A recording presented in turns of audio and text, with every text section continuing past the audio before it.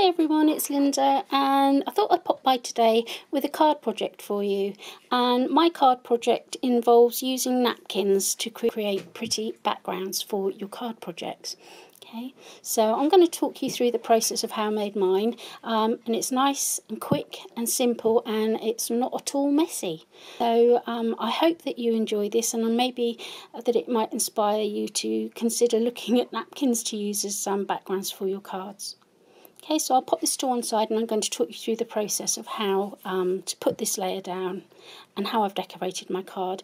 Also, I'll be showing you how I've created these um, little embellishments. They're wooden embellishments um, and I've used some Nuvo products to decorate them.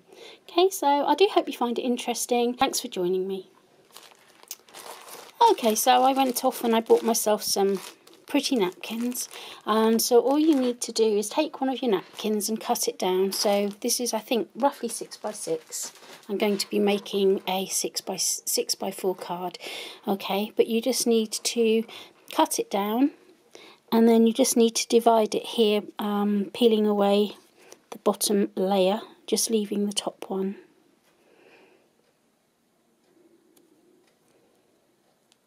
you may find there are a few layers. Okay, so just be nice and gentle, so we're just left with that. What I've done is I've got my base layer here that I'm going to be using to decorate to put on my card with the um, napkin. Um, you're also going to need some double-sided adhesive tape sheets and these are A4 which I got from um, Craft Stash so I'll be putting links to this on my blog and below the video. Okay, so all I've done is this is cut at the moment, I'll be cutting it down further, but it's cut at 6 by 4 and a quarter inches. So I've taken a piece of that um, tape sheet that I've just shown you and all I'm going to do is peel this away discarding that bit. Okay, and then you just need oh, to put this down on, oh, and you be careful as well. oh, it does stick easily. Just try and line it up as best you can and get that stuck down like that. See if I can pan out a bit more. Okay. And then we're just going to remove this backing.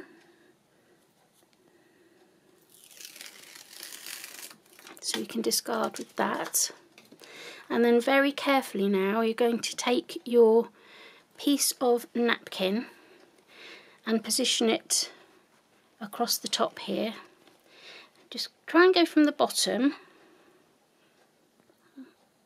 and then just lay it down gently like that. Okay, and then I'm just going to take a bone folder, if I can and just try to just push out any creases.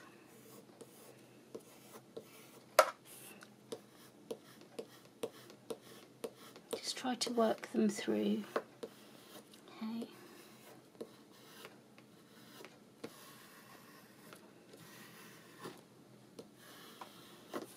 So get it as neat as you can I'm quite happy with that. There's a very, very slight crease there, but I'm going to be embellishing it further anyway. Okay, so now I've done that, I'm just going to trim away the excess around the sides.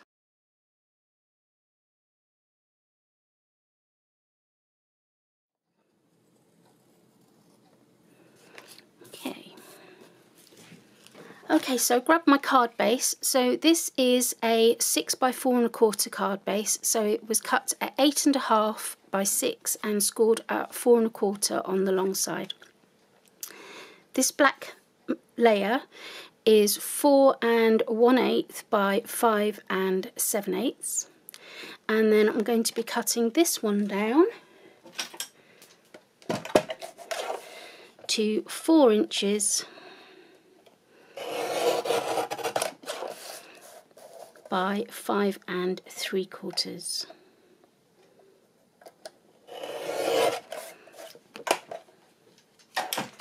And that will sit on there like that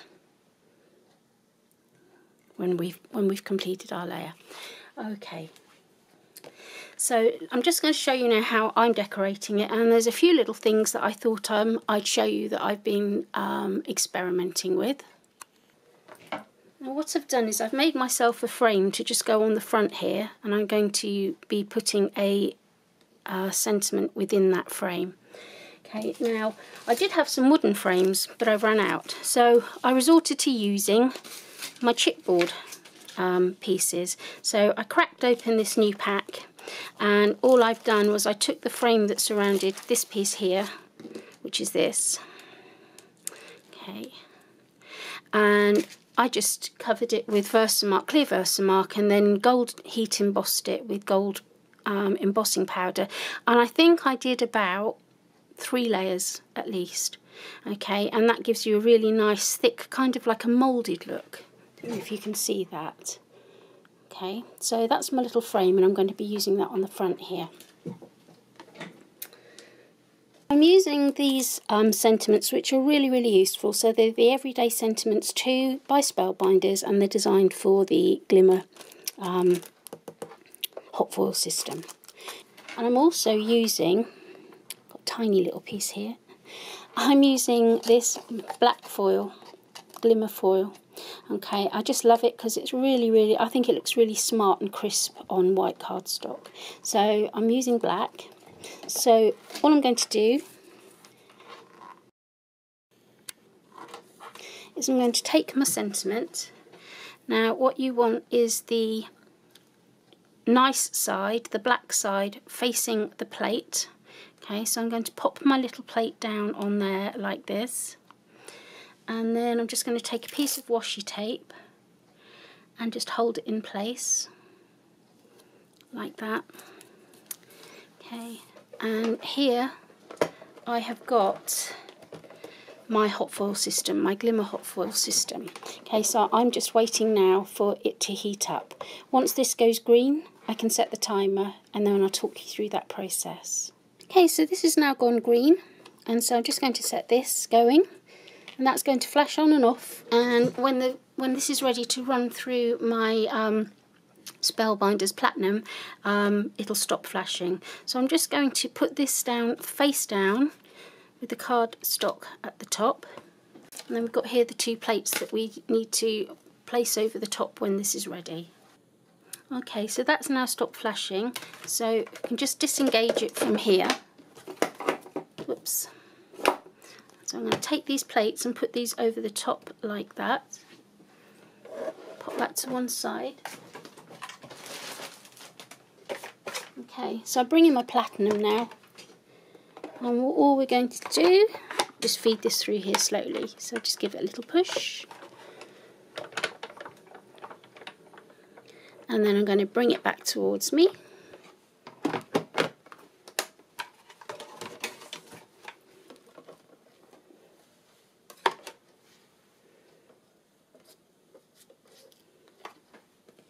Okay, and then just peel away the washi.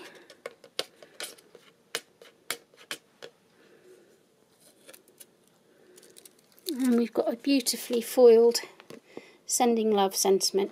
Now all I'm going to use to um, die cut that is an oval just to match the oval that's in my frame and it just so happens that this is actually quite a good fit for my frame and, um, and I will put a link to these on my blog if you're interested. Okay so all I'm going to do now is just send this through the die cutting machine. Okay so there's my sentiment and I'm just going to get this stuck down round about there on my layer. Okay so it's got stitching round and the, the stitching just about fits within my um, frame. I'm, I'm not too bothered it's not like you know it's well hidden or anything like that. I mean obviously if you've got plain ovals use plain ovals okay but these stitch ones I can get away with. You've just got like a slight outline all the way around and I'm quite happy with that. I don't mind that at all. So let me just pop this down.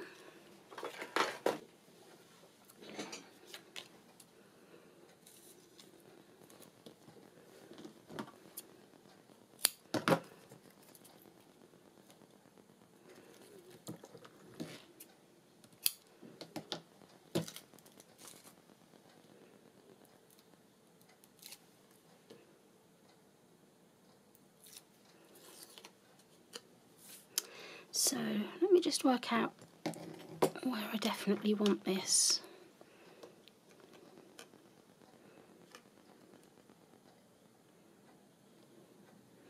I'm thinking that's quite a nice height actually round about there. So I'm going to go with that and try to get it nice and straight now.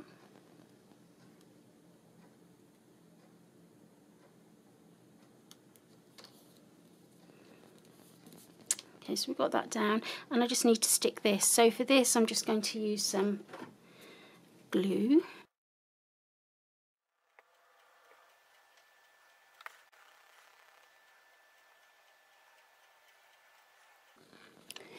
And whilst that's setting, I'm just going to show you some little embellishments that I've been making. And I'll talk you through how I've made them. So I've got here some wooden embellishments. And I just thought it would be nice to make them up in different colours and I discovered that if you use these Nuvo crystal drops, got a few colours here, um, if you cover them in the in the crystal drops and then you have to leave them set them aside and, and they take at least a couple of hours to go off if not more. So you've got to be patient if you want to do this. But what I do is I've made up like a, a little batch of them. But you all you do is select your colours and just cover your wooden wooden embellishment. Okay you just spread it out like this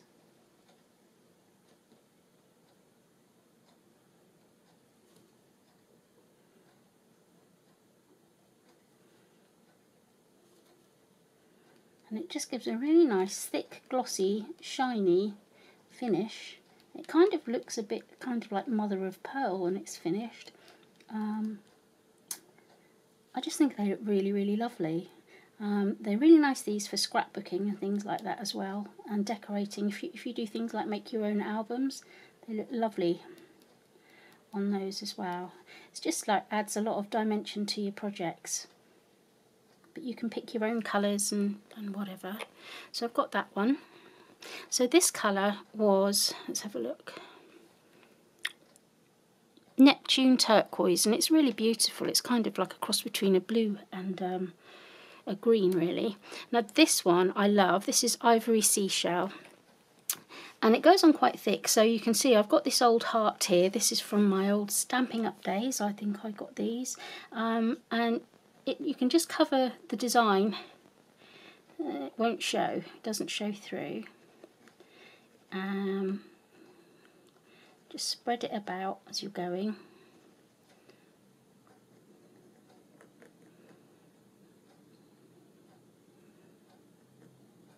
Okay, and like I say, you have to be patient, set them aside um, and leave them to dry.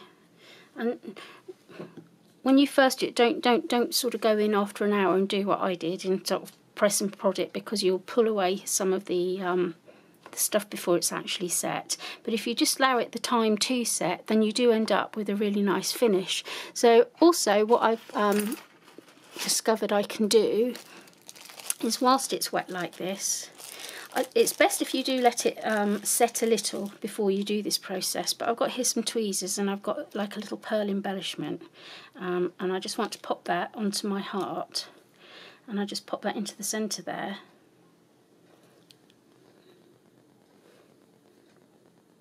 Just press it down.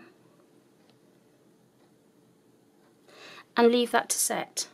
Okay so I'll just pop that to one side Okay, so in good old Blue Peter style, here's some I made earlier. So there we go, that, that was like the champagne coloured um, crystal drops that I showed you. I've made that. Um, this is how the green leaves come out. They've got a really, really pretty finish on them. Okay, lots of texture. And I also went ahead and I made it, oops, a little butterfly. And I love this. There we go. So that's in like pink. And I put little coordinating pink pearls in there. Okay. And I just thought they'd be fun to decorate my card. So I've got some flowers and bits and pieces here which I'm also going to be using. I'm not sure whether I'm going to use that one yet, but I do love it. That'd be nice on a wedding card. So just bring that back. So I'm going to set some flowers down and I'm just going to work out a placement for my flowers.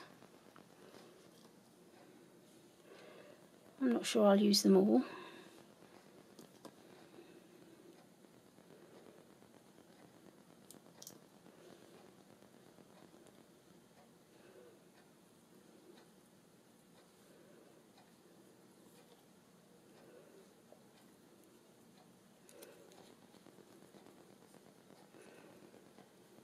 Going to set that one in the middle there. Okay, and I think I'll put this one round about there and I'll pop that on the top of it. So I'm quite happy, I quite like that arrangement. So I'll just get those stuck down. Okay, so I've got my glue gun here, so I'll start by putting the roses on first I think.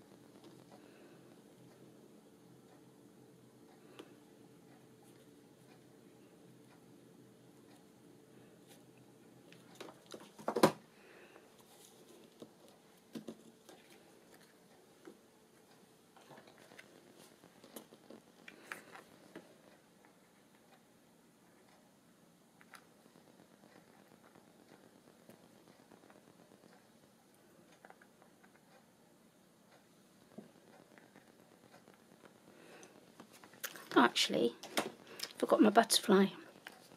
So let's get little butterfly on there as well. Pop that there. Okay made a bit of a mess. Get rid of that. And then I'm just going to finish off with I think a nice ribbon around the front of it. So I've got here some old seam binding ribbon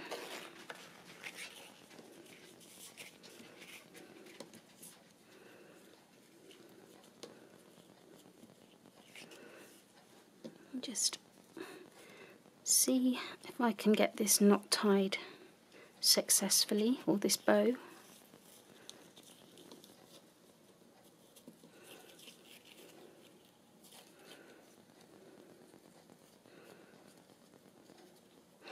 I have a feeling this is going to take a couple of attempts. oh dear.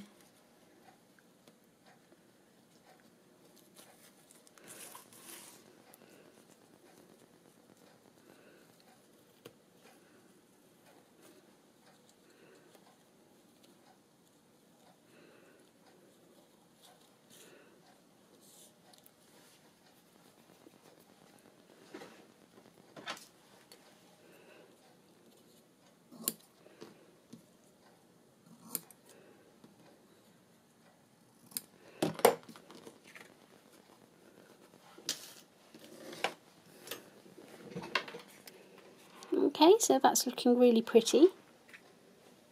So I'll just bring back my card base now and I'm just going to get that stuck into place.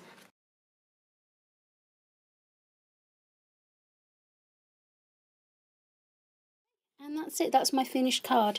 Okay, so I just think it's a really nice way of using napkins. I kind of missed the boat the first time around because I just wasn't kind of drawn to the whole process and it, lots of the demonstrations I saw made it look a little bit messy. But um, in using those double-sided um, sheets that I've shown you. It's really nice and simple and clean um, to get the napkin sheet down onto, onto your um, layer and work with it and it does create if you've got some really pretty napkins it creates a really really pretty background and it's just a nice way to decorate and make cards to gift to your friends and your family Okay, so that's it from me. I do hope you enjoyed the demonstration. I hope you liked my idea as well of creating your own um, or decorating your own wooden embellishments.